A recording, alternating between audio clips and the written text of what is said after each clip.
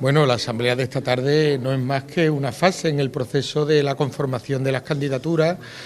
que no estará definitivamente cerrada y conformada, como decía, pues hasta que tengamos que presentarla en el comité provincial. Hoy es la primera en la que se presentan o muestran su predisposición a formar parte de la candidatura del Partido Socialista en la ciudad de Huelva, pues compañeros y compañeras, y bueno, se somete a la consideración de una asamblea, pero es la primera fase de un proceso que culminará con una propuesta de lista definitiva que irá al próximo comité provincial. Y en cuanto a la decisión de, de Elena,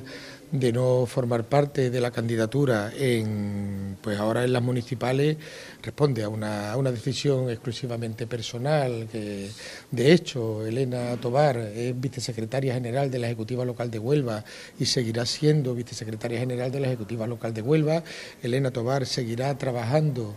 con este alcalde en pro de Huelva y en pro de la cultura de Huelva, pero la vida municipal muchas veces, la vida política en general, la vida municipal muchas veces no lo tomamos en consideración, es muy, muy exigente y tiene un profundo y un enorme desgaste personal. Y hay veces que uno, y son decisiones estrictamente personales, decide que llega el momento de tomarse un respiro, de parar, de reconsiderar algunas cosas, pero bueno, Elena ha hecho una labor que está ahí, es fantástica, es magnífica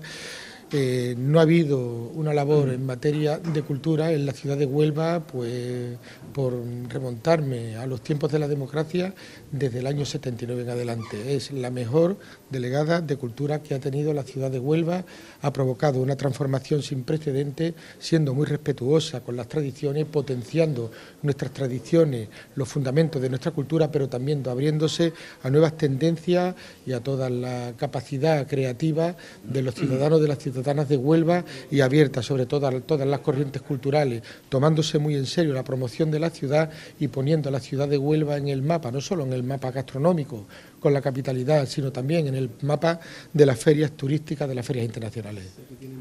pero la lista definitiva, ¿cuándo la Pues cuando el secretario general provincial convoque el comité provincial, en ese comité provincial irá ya la lista definitiva pues solo sabrá el secretario general provincial, que es el que convoca al comité provincial.